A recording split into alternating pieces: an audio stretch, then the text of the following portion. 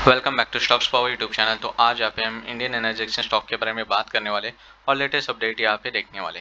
तो Indian energy exchange stock की बात की जाए तो देख सकते कि आज 158.10 पे रिसेंटली ट्रेडिंग करा है Indian energy exchange stock one point की तेज़ी देखने को मिले, स्टॉक के अंदर पॉइंट सिक्सटी फोर परसेंटेज की तेज़ी देखने को मिले।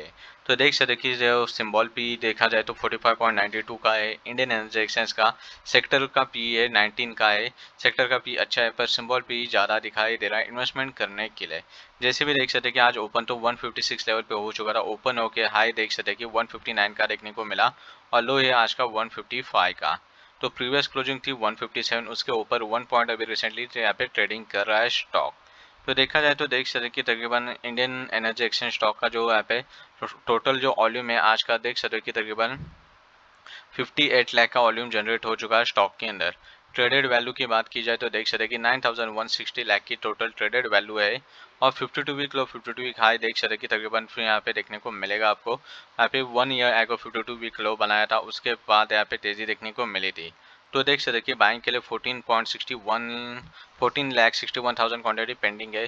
तो सेलिंग के लिए 13 लाख से ज़्यादा क्वान्टिटी पेंडिंग दिखाई दे रहे हैं। सिक्योरिटी वाली डिलीवरी पोजीशन भी देखा जाए तो 57 लाख में से 21 लाख क्वांटिटी जो है डिलीवरी के लिए जा चुके हैं। टोटल 37 परसेंटेज क्वांटिटी जो है डिलीवरी के लिए अगले दिन के लिए चले गए तो इंडियन एनर्जी एक्सचेंज स्टॉक के चार्ट पे नज़र डाली जाए तो 160 लेवल जो इंपॉर्टेंट लेवल थी, उसको कल के दिन ब्रेकआउट दिया।